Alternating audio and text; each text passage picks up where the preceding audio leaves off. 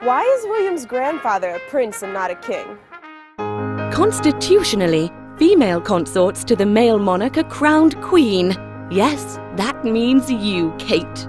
However, there is no standard title for the male consort to a female monarch, though they are never crowned king.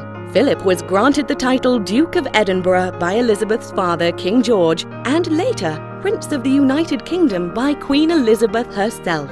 But even without the kingly title, Philip has managed to make quite a name for himself over the years, mostly with his charming public comments. How do you keep the natives off the booze long enough to get them through the test? He once asked a Scottish driving instructor.